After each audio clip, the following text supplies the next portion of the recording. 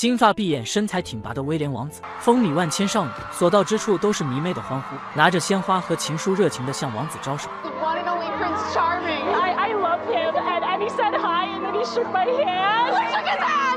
年轻的王子此刻成为了镜头下的万人迷，但这却是他憎恶至极的。当下的威廉刚刚经历了无法想象的丧母之痛，而那场悲剧的发生，还与这些不给人喘息机会的媒体有着或多或少的关系。在母亲葬礼结束不久后，威廉决定重新回到学习生活中。父亲查尔斯亲自送他返校，不断的询问着威廉的状态是否真的做好了准备。I just want things to get back to normal as quickly as possible. 威廉刚刚回到住处，舍监盖利博士就送来了两批信函，一部分是来自学校的同学，另一部分则来自世界各地，都是向他表示哀悼。威廉看着永远留在墙上的照片，读了每一封来自陌生人的慰问，那份隐秘的情感将会在内心保留很久很久。再多的慰问也无法抹平内心的创伤。而在回到学校的很长一段时间，威廉注意到大家都在有形或是无形中照顾他的感受，他只能向每一个人回应自己挺好的。不久后，女王与亲王即将庆祝金婚纪念日，威廉收到了王室官方活动的邀请。盖利博士告诉他，如果他拒绝出席，相信大家也都会理解的。但威廉却不想要这种特殊待遇。Three, two, one. William, keep smiling, darling. 麻木的拍照环节结束后，威廉独自站在窗前发呆。这时，弟弟哈里端着茶杯过来。或许此刻，在这个大家族里，真正能与他共情的也只有弟弟了。他把杯子里的茶换成了香槟，知道哥哥与自己此刻都渴望逃离。两人来到一旁畅聊着心事。这段时间，他们几乎受到了同样奇怪的待遇，大家的过于贴心令他们不适。而等到父亲查尔斯过来时，兄弟二人又立即变得拘谨起来。查尔斯向他们逐一介绍着待会即将见到的各国国王。听得威廉不由得深吸一口气。庆典活动随着威廉王子的出现，瞬间被推上了高潮。熙熙攘攘的人群中，全是花季少女为白马王子欢。然而威廉却不像他的母亲戴安娜王妃，能够泰然自若地接受大量的关注。威廉的性格更加内向，对大众的过多关注也感到十分不自在。The whole thing has a distinct feeling of deja vu. You mean Diana? He does look remarkably like his mother. 卡米拉认为，查尔斯作为父亲应该帮助威廉，教会他如何适应这种情况。但查尔斯认为自己和自己的父亲菲利普一样，都不善于交流。或许这才是王室父子的教养方式。查尔斯与卡米拉因为那场车祸，也深陷舆论的中心。为了避免不必要的麻烦，两人已有几个月没有见面。最终，查尔斯还是在卡米拉的劝说下，来到学校关心威廉的学习和生活。并安排了一些活动，希望能够修复父子关系。于是，在复活节期间，父子三人一同出访加拿大。但查尔斯却似乎忘了，威廉并不想受到媒体与公众的过多关注。在官方活动结束后，查尔斯本答应儿子们一同去滑雪。为了避免媒体的骚扰，查尔斯答应在出发前先给一小群受邀记者留出拍照时间。但这却让威廉十分抵触，他厌倦了必须以牺牲作为换取片刻自由的代价。I know it's insufferable, but getting angry and refusing to go out there when they're already waiting is not the way to endear yourself. I'm not the one who needs to endear myself. I'm not the one with the image problem. 但最终，即使威廉抗拒，也无法改变决定。与生俱来的身份，让自由不得不成为一件极其奢侈的事情。威廉对媒体的抵抗情绪，渐渐引起了王室成员的担心。作为未来的王位继承人，这样的状态是十分危险的。不久后，威廉就收到了一份女王和亲王的邀请。他在周末来到温莎城堡，却发现等待他的不是爷爷奶奶，而是父亲查尔斯。希望能与威廉开诚布公的聊聊，谈谈自那场悲剧发生后他们避之不及的话题和人物。查尔斯表示，他母亲的离开是一场始料不及的意外，但威廉认为这一切都是父亲的过错。 She should have been safe with us, and the fact that she wasn't is your fault. And no, you, you didn't actually drive the car, but you drove her into the arms of those that did. By making her so unhappy. By loving someone else.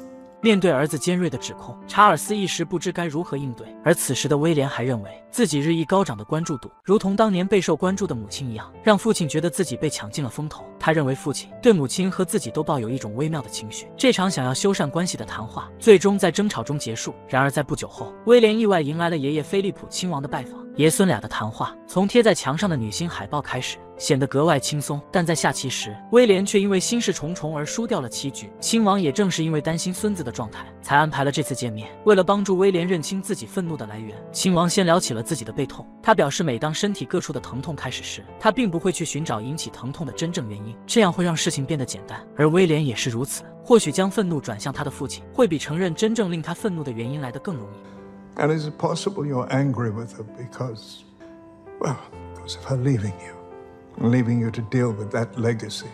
So you take it out on someone else and blame him for the fact that she's gone. 菲利普以一个自认为失责的父亲告诉威廉，没有一个父亲在祈祷儿子的原谅时，愿意得到一个杀气腾腾的眼神，希望等到来日他成为父亲时，还能记起这次谈话。最后，菲利普亲王驱车将威廉送往海格洛夫。威廉找到花园中的父亲。而这一个拥抱，似乎也成为了三代人、两对父子之间的和解。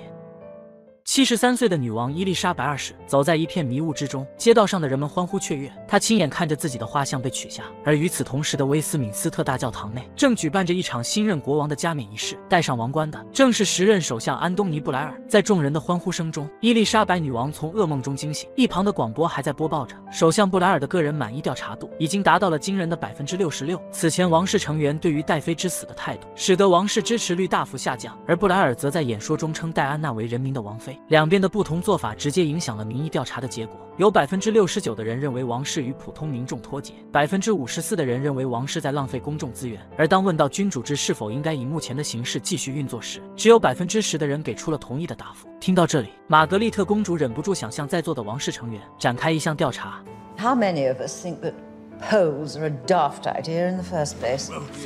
大家都打趣的说道：“女王不必为首相的高支持率感到担忧，因为似乎她的每一任首相都是靠着极高的声望和好感度上台，最终通常却只剩下破烂不堪的名声，带着疾病缠身的残躯下台。” Well, I think this one might be different.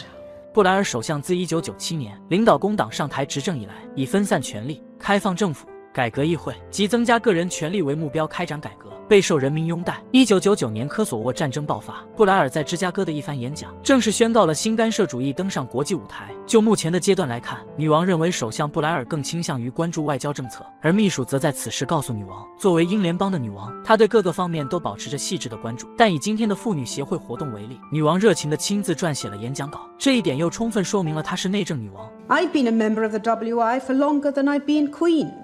There are approximately 250,000 members of the Women's Institute in the United Kingdom, roughly the population of Hull.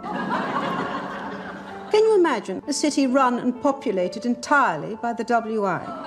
It would have the tidiest streets in Britain, everything would run on time, and we would take all the men's jobs. 女王充满渲染力的演讲获得了全场妇女的掌声，而此时的首相布莱尔在美国获得了巨大成功。《纽约时报》甚至称他为托尼国王。于是，在会见首相时，伊丽莎白也不得不称赞首相这项了不起的政治壮举。在表达了对首相的祝贺后，女王紧接着说出了王室目前面临的困境，并问出假如她坐在自己的王位上，会如何扭转当下的局面。If I were king, Yes. goodness. 回去后。布莱尔就此问题与最亲近的顾问们展开了激烈的讨论，最终列出了一些改革建议。首先就是王室透明度问题。布莱尔建议把王室当做一家公关有限公司来看待，出具年度报告，列出业绩。资产和薪水，让英国人民成为股东而不是子民。其次，距离威廉三世签署王位继承法已经过去近三百年，而如今要求审查某些反天主教的条款，这种呼声也越来越高。还有那些浮华礼仪相对于的工作人员，例如世袭的御用训鹰者、女王的香草撒播侍从、君主的洗手侍从以及天鹅看守人。布莱尔建议彻底肃清这些头衔，一举消除这些落伍的闲职，或许能够成为成功的公关之举。在听完了布莱尔的建议后，女王一一召见了这些工作人员，了解他们具体的工作。内容以及这份工作背后悠久的历史。看着每位在介绍时脸上不由自主洋溢出的自豪与荣耀，伊丽莎白渐渐意识到，这些被大众指责精英主义、浮夸堂皇的东西，或许才是王室存在的意义。人们来到王宫参加授勋仪式或国事访问时，想要获得的是神秘的体验，希望能够感受到另一个世界。That is our duty to lift people up and transport them into another realm, not bring them down to earth and remind them of what they already have. 最终，伊丽莎白回绝了首相布莱尔的建议。传统正是他们的力量，尊重祖先，维护他们世代相传的智慧和经验。Modernity is not always the answer. Sometimes antiquity is too. 千禧年初时，新任秘书为女王起草了一份活动清单，并希望这一系列活动在保留传统的同时，也能增加一些现代的感觉。女王也欣然接受了这一改变。而此时的首相布莱尔，为了巩固他在英格兰中部的支持，选择在妇女协会进行演讲，却违背了妇女协会不谈论政治的原则，遭到了全体成员的抵制。Look, the world is changing fast. Oh, okay, right. 这场失败的演讲结束后，女王伊丽莎白与首相布莱尔再次对立而坐。布莱尔表示，或许自己这次的过于政治化，就相当于别人描述女王过于王室化。I think I've come to realize there's no such thing as too royal. If you're doing it, do it properly. 威廉王子高考结束后，弟弟哈里送上了一份贴心的毕业礼物。And because accidents do happen, you'll all be thanking me later. Oh, what is it? 在十八岁这年，威廉顺利从伊顿中学毕业。但在面对媒体采访被问到大学生活计划时，威廉表示，经过深思熟虑和与家人商议，他决定先休整一年。在这期间，他为自己安排了许多课程与活动，以锻炼自己的能力和心智。一年后，威廉在万千迷妹的欢呼和期待下，来到圣安德鲁斯入学，全新的大学生活即将开启。但威廉却不仅有一个二十四小时陪在身边的保镖，还常常在下课后被迷妹们围追堵截，这不禁让威廉觉得有些吃力。直到这天，在和高中同学闲聊时，一个长腿美女。闯入了他们的视线。I've got a phone number. Already? I salute you, respect. 原来是威廉与他同修了一门课程，才近水楼台先得月。What's her name? Kate. Beautiful Kate puts the Kate in intoxicating. 不久后，关心哥哥大学生活的哈利打来电话，但主要关心的还是恋爱的部分。他希望哥哥能够解放自我，开玩笑的说生几个私生子，改变一下继承顺序，让他不要老是保守谨慎，可靠负责又无聊乏味。What are you so scared of? Go mad.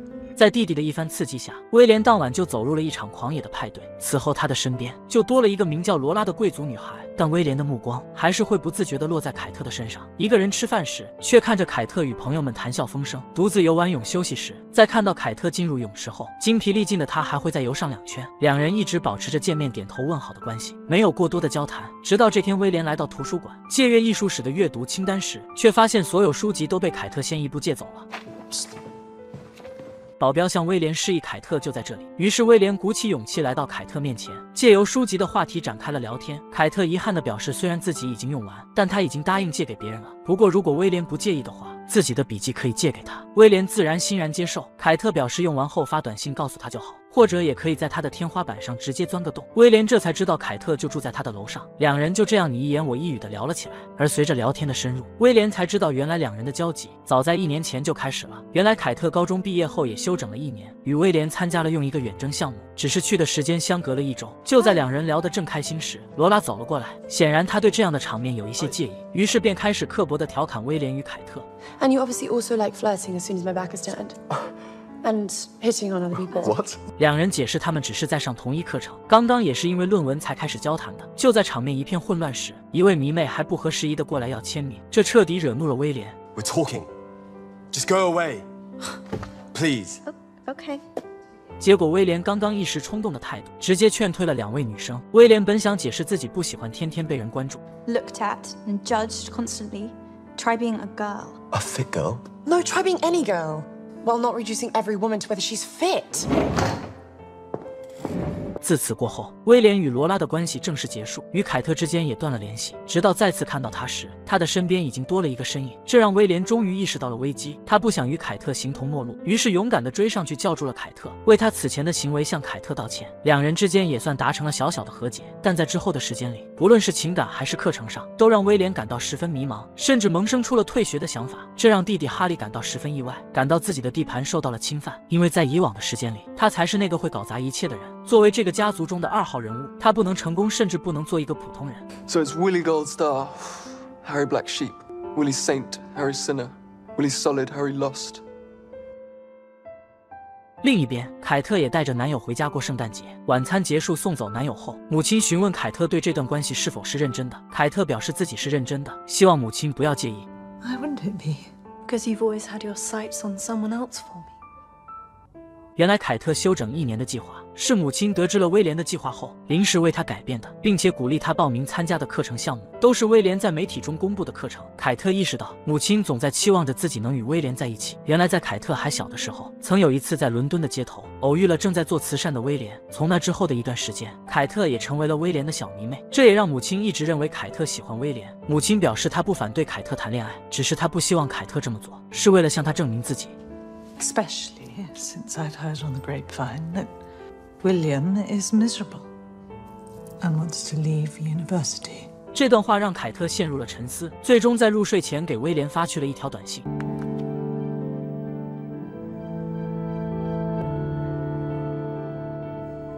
女人的脚因二级烫伤肿胀，却依然坚持要求侍女为她穿上华丽的高跟鞋，随后光彩夺目的出现在媒体记者前，去参加她的七十大寿派对。她便是伊丽莎白二世唯一的妹妹，乔治六世的掌上明珠玛格丽特公主。玛格丽特一生情路坎坷。于是，在摆脱了这么他的婚姻后，开始了多姿多彩的独身生活，整日饮酒作乐，放纵自我。然而，在一九九八年，玛格丽特在她最爱的马斯底克度假时，突然感到一阵晕眩，身体也渐渐的不受控制。不久后，远在伦敦的伊丽莎白女王焦急的接起电话：“Margaret, what on earth happened?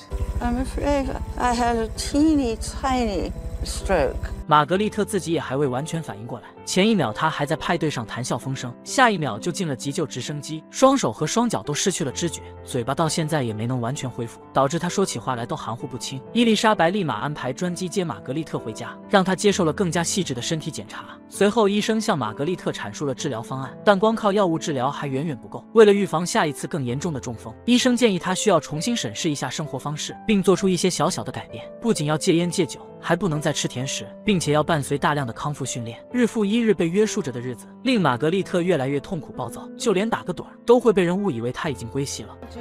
I'm still alive.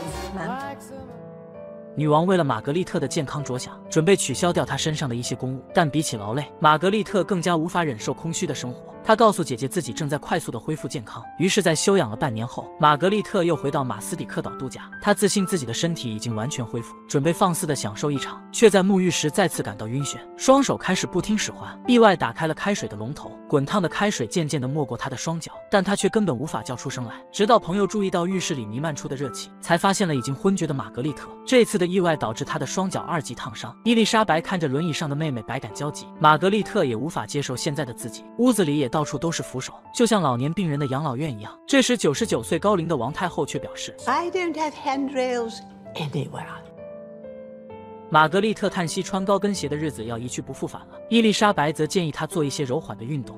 I'd rather die than do exercise.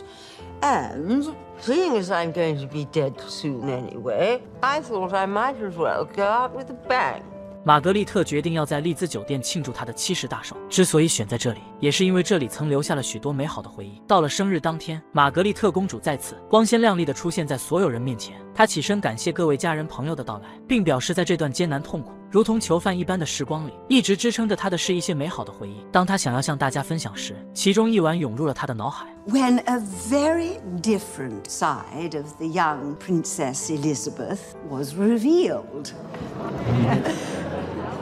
女王起身阻止了妹妹继续回忆五十多年前的那个秘密夜晚，表示玛格丽特才是今晚派对的主角。随后致辞为她最爱的妹妹庆生，细数姐妹二人数十年形影不离、相伴相依。在姐姐伊丽莎白的心中，绝不动摇的玛格丽特是她一生的伴侣和支持者。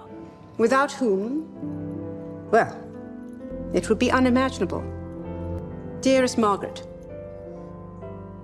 many happy returns. 然而不幸的是，生日派对结束当晚，玛格丽特公主又一次中风。伊丽莎白带着沉重的心情来到妹妹的病床前。Hello, you. Goodbye. Stop it.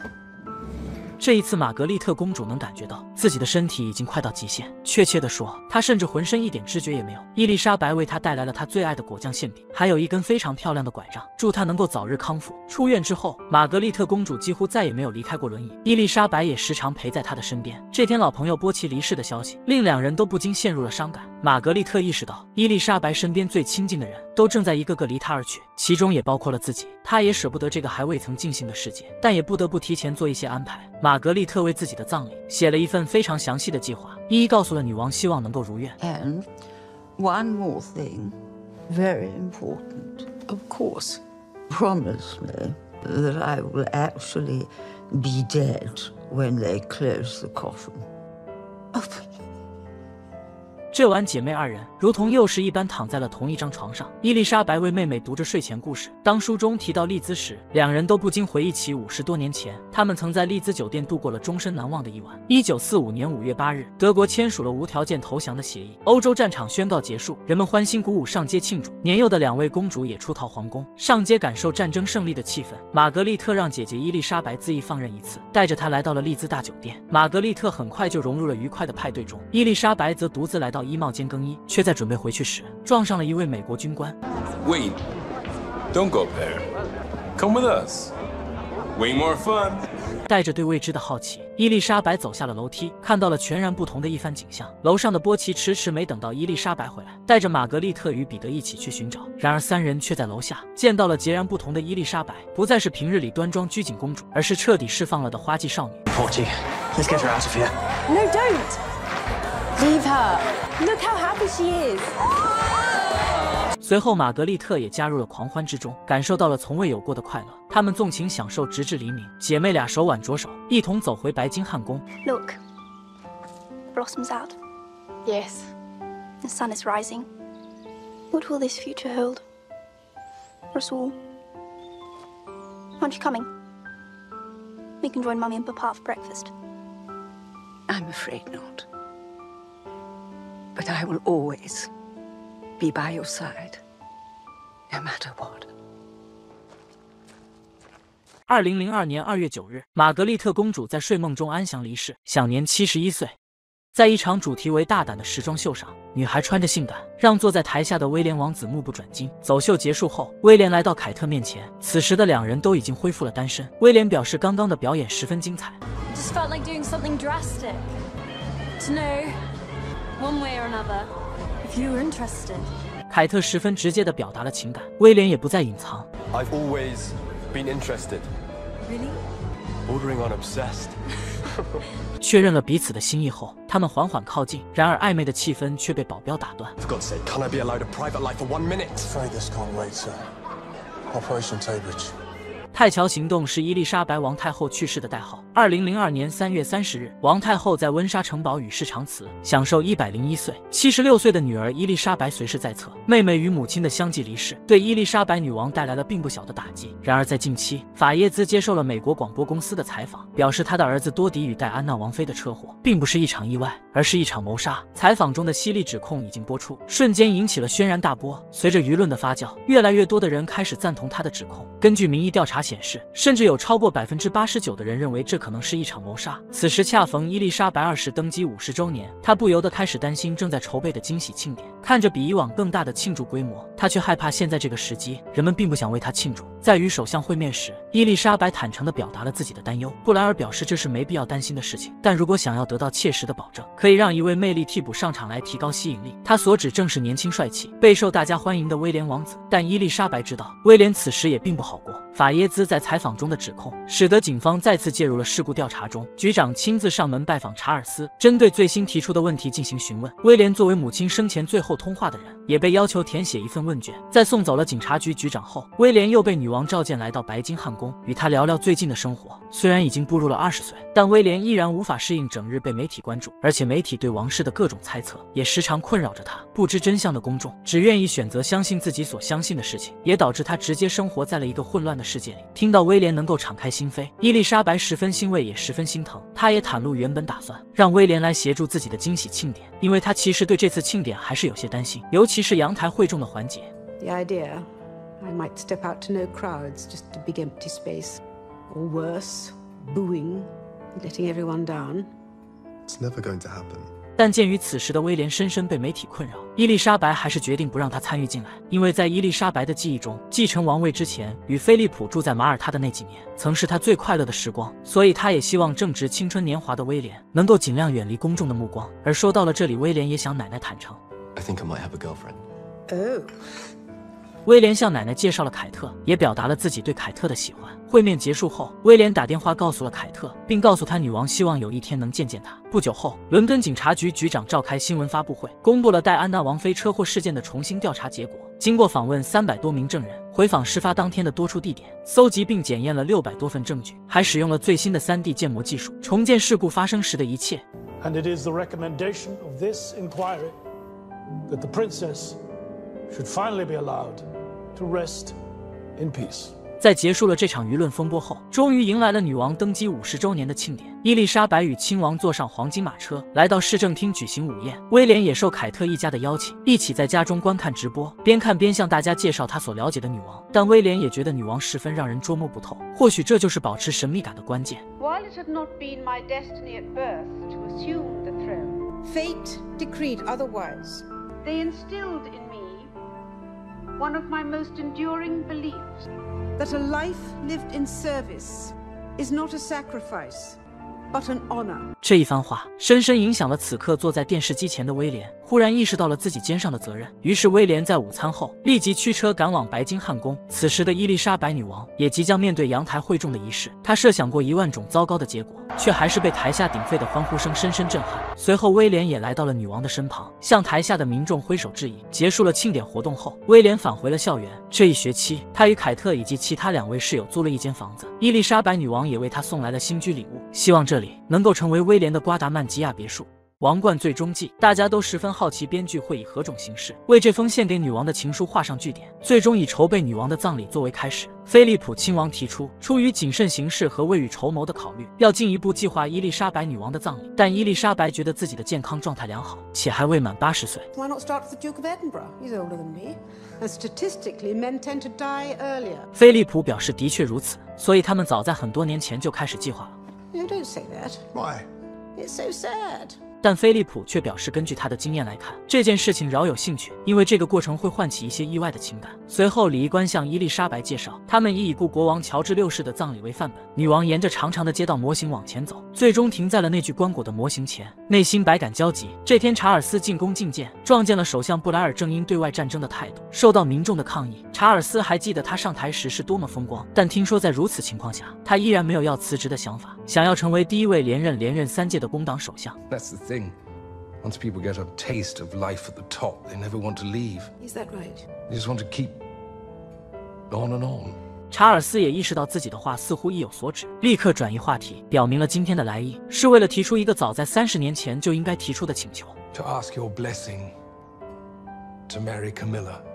查尔斯终于还是说出了口，并且再次表明，卡米拉在过去的三十年里一直在英勇面对着一切流言蜚语。You don't think ending her relationship with you once you'd married Diana would have been heroic? 查尔斯认为卡米拉的英勇之处在于一直保持沉默，忠于女王和王室，却没有得到任何感激之言。Thank you. Yes, thank you. 他再次提到卡米拉让自己变得幸福。女王也曾说过，菲利普亲王的存在给予了他力量与支持。查尔斯表示，卡米拉之于自己也是如此。这一次，女王没有明确拒绝，而是表示自己会仔细考虑。筹备葬礼的计划还在进行。伊丽莎白面前放着一份厚厚的伦敦桥计划的初稿，随着每一项具体细节的推进，那个看似遥远的结局似乎变得越来越清晰。首先，第一项未知便是时间与地点。I shall do my best to keep it local. Thank you, ma'am.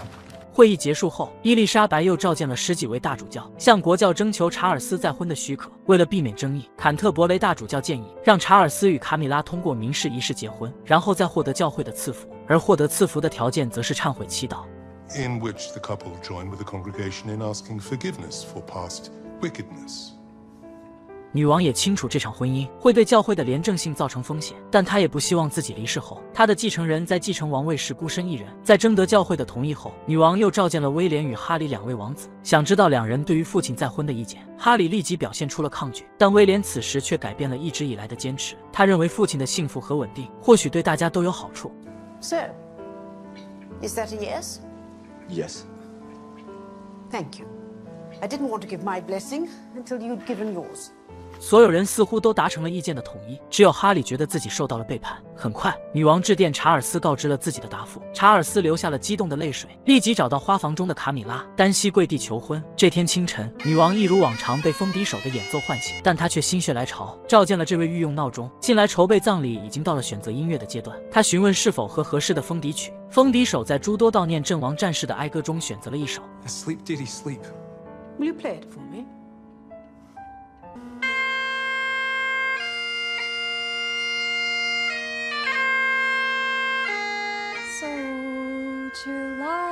Down on your wee pickle It's not very broad, and it's not very broad, but dearie, it's better than nothing. Sleep,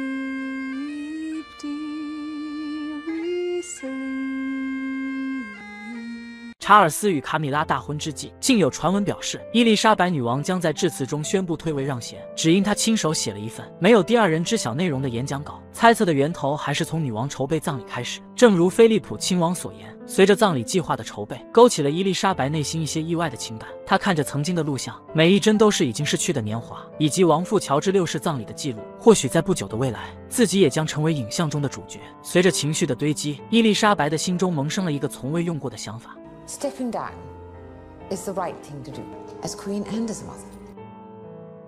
在查尔斯婚期确定下来后，伊丽莎白决定在宴会上致辞，并且拒绝了秘书拟稿由自己亲自撰写。而这份秘密的讲稿瞬间吊足了所有人的胃口。查尔斯与卡米拉通话，认为母亲正计划宣布一项重大决定。菲利普亲王与安妮公主见面，对此事也像其他人一样困惑。安德鲁王子与女王一起骑马散心，也没能探查到一点蛛丝马迹。在众人对女王致辞的期待下，时间来到了二零零五年四月九日，查尔斯与卡米拉的大婚仪式。然而，直到这天，女王仍还在修改她的讲稿。I don't know what you think you're doing. I'm doing the sensible thing, the responsible thing. 少年时期的伊丽莎白在此时出现，质问女王是否忘了曾经的誓言。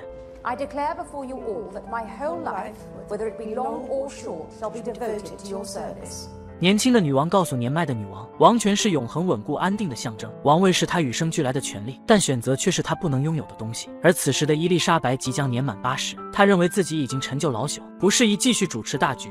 You say that Charles is in his prime. Well, I see you in yours. And admitted, you sometimes think there's a difference between you and the rest of the family. Yes. It comes naturally to you.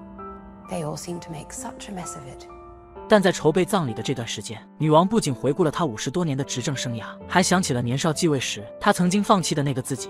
What sort of question is that? For years now, there has been just one Elizabeth, Queen Elizabeth. If you went looking for Elizabeth Windsor, you wouldn't find her. She's gone. Long gone. You buried her years ago. 此时的卡米拉与查尔斯已经在圣乔治教堂完成了祝福仪式。随后，在众人屏息凝神的期待下，伊丽莎白女王走上了致辞的讲台。整场致辞以风趣作为基调，用爱与祝福填充内容，简短而精彩。只有威廉注意到她跳过了一页内容。直到致辞结束，也没有查尔斯期待的内容。在合照环节结束后，众人都在祝贺新婚夫妻。菲利普却注意到女王离开的背影，最终在教堂找到了她。作为与女王相伴五十八载的丈夫，菲利普早就察觉出了自葬礼筹备开始伊丽莎白内心的煎熬与纠结。他并没有干涉，只是在此刻告诉她做出了正确的决定，因为菲利普认为他身后的那些人还远远没有做好接受的准备。All human things are subject to decay, and when fate summons, even monarchs must obey. 他似乎已经预见了不远未来的混乱，但他认为这不是他们该烦扰的问题，因为届时他们就将躺在这块地下，听不到任何尖叫呼喊。The good news is that while Rome burns and the temple falls, we will sleep, dearie, sleep. 最终，在那首挽歌安息吧，亲爱的中，伊丽莎白走过她的王冠与权杖，走过她已经安息的躯体，与曾经的伊丽莎白温莎告别，与不同阶段的自己告别，最后独自一人离开。